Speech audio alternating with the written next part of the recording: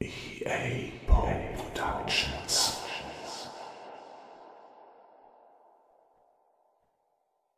EA Poe Productions liest Sagen des klassischen Altertums, gesammelt von Gustav Schwab. Viertes Buch aus der Herakles-Sage. Heute die siebente, achte und neunte Arbeit des Herakles.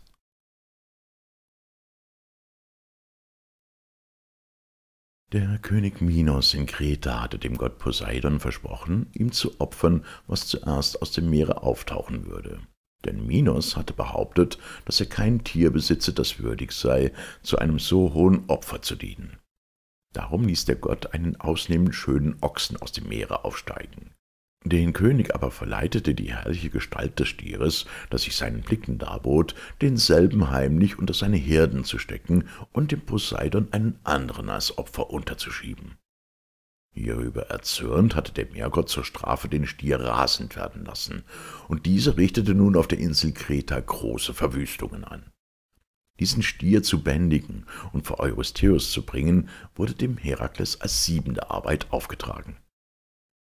Als er mit seinem Ansinnen nach Kreta und vor Minos kam, war dieser nicht wenig erfreut über die Aussicht, den Verderber der Insel loszuwerden.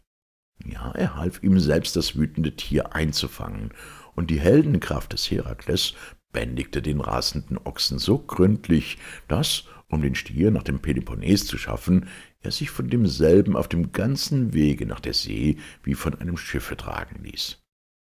Mit dieser Arbeit war Eurystheus zufrieden, ließ jedoch das Tier, nachdem er es eine kurze Weile mit Wohlgefallen betrachtet, sofort wieder frei. Als der Stier nicht mehr im Banne des Herakles war, kehrte seine alte Raserei zurück. Er durchirrte ganz Lakonien und Arkadien, streifte über den Isthmos nach Marathan in Attika und verheerte hier das Land wie vordem auf der Insel Kreta. Erst dem Theseus gelang es später, Meister über ihn zu werden. Als achte Arbeit trug nun sein Vetter dem Herakles auf, die Stuten des Thrakiers Diomedes nach Mykene zu bringen. Dieser war ein Sohn des Ares und König der Bistronen, eines sehr kriegerischen Volkes. Er besaß Stuten, die so wild und stark waren, dass man sie an ehernen Krippen und mit eisernen Ketten band. Ihr Futter bestand nicht aus Hafer, sondern die Fremdlinge, welche das Unglück hatten, in die Stadt des Königs zu kommen, wurden ihnen vorgeworfen, und ihr Fleisch diente den Rossen zur Nahrung. Als Herakles ankam, war sein erstes, den unmenschlichen König selbst zu fassen und ihn seinen eigenen Stuten vorzuwerfen, nachdem er die bei den Krippen aufgestellten Wächter übermannt hatte. Durch diese Speise wurden die Tiere zahm, und er trieb sie nun ans Gestade des Meeres. Aber die Pistonen kamen unter Waffen hinter ihm her, dass Herakles sich umwenden und gegen sie kämpfen musste. Er gab die Stuten seinem Liebling und Begleiter Abderos, dem Sohn des Hermes, zu bewachen. Als Herakles fort war, kamen die Stuten wieder ein Gelüste nach Menschenfleisch an, und Herakles fand, als er die Pistonen in die Flucht geschlagen hatte und zurückgekehrt war, seinen Freund von den Stuten zerrissen. Er betrauerte den Getöteten und gründete ihm zu Ehren eine Stadt seines Namens. Dann bändigte er die Stuten wieder und gelangte glücklich mit ihnen zu Eurystheus. Dieser weihte die Pferde der Hera. Ihre Nachkommenschaft dauerte noch lange fort. Ja, der König Alexander von Makedonien ritt noch auf einem Abkömmling derselben. Nachdem Herakles diese Arbeit ausgeführt, schiffte er sich mit dem Heere des Jason, der das goldene Vlies holen sollte, nach Kolchis ein, wovon wir schon erzählt haben. Von langer Irrfahrt zurückgekehrt unternahm der Held den Zug gegen die Amazonen, um das neunte Abenteuer zu bestehen und das Wehrgehenk der Amazonen Hippolyte dem Eurystheus zu bringen. Die Amazonen bewohnten die Gegend um den Fluss Thermodon in Pontos und waren ein großes Frauenvolk, das einzig Männerwerk trieb. Von ihren Kindern erzogen sie nur diejenigen, die weiblichen Geschlechtes waren. In Scharen vereinigt zogen sie zu Kriegen aus. Hippolyte, ihre Königin, trug als Zeichen ihrer Herrscherwürde den genannten Gürtel, den sie vom Kriegsgott selbst zum Geschenk erhalten hatte. Herakles sammelte zu seinem Zuge freiwillige Kampfgenossen auf einem Schiffe, fuhr nach mancherlei Ereignissen ins Schwarze Meer und lief endlich in die Mündung des Flusses Thermodon und in den Hafen der Amazonenstadt Themiskyra ein. Hier kam ihm die Königin der Amazonen entgegen. Das herrliche Ansehen des Helden flößte ihr Hochachtung ein, und als sie die Absicht seines Kommens erkundigte, versprach sie ihm das Wehrgehenk. Aber Hera, die unversöhnliche Feindin des Herakles, nahm die Gestalt einer Amazone an, mischte sich unter die Menge der übrigen und breitete das Gerücht aus, dass ein Fremder ihre Königin entführe.